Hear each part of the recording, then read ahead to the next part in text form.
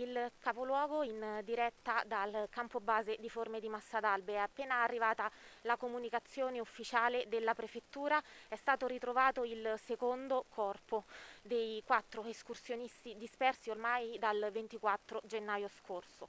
Siamo qui per seguire tutti gli aggiornamenti. Questa mattina è arrivato il primo risultato, quello del ritrovamento di uno dei primi corpi, poi con la conferma ufficiale da parte dell'ANSA si tratta di quello di Valeria Mella, una appunto dei quattro dispersi ormai da quasi un mese. Le ricerche sono continuate in queste settimane incessantemente, interrotte soltanto dal maltempo che eh, c'è stato e che ha ostacolato le operazioni dei soccorritori. Questa mattina sono di nuovo saliti in quota ed è stato ritrovato il primo corpo, proprio pochi minuti fa invece la comunicazione ufficiale del ritrovamento di un secondo corpo.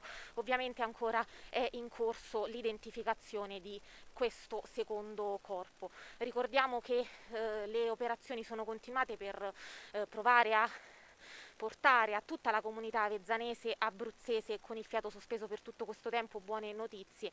Gli escursionisti dispersi sono Tonino Durante, Gianmarco Degni, Gianmauro Frabotta e Valeria Mella. Due i corpi al momento ritrovati, decisivo sicuramente l'intervento delle unità cinofile arrivate proprio ieri da Bologna perché ve l'abbiamo detto anche nelle settimane passate di ricerche, era importante assicurare un ricambio degli stessi dei, delle unità cinofile impiegate in queste ricerche proprio per evitare che ci fossero problemi, ostacoli e eh, problematiche legate a eh, inquinamenti dell'area di ricerca, un'area di ricerca che è quella di Valle Maielama ma anche oltre, ricordiamo che si è cercato più a valle fino poi eh, oltre a quella che è l'area di Valle Maielama dove sono state riscontrate tre valanghe in quota fino appunto alla sella del Bicchero. Siamo qui dal campo base di Forme di Massadalbe per aspettare se dovessero riscendere chiedere soccorritori con aggiornamenti se dovessero arrivare altre informazioni ufficiali dalla prefettura. Al momento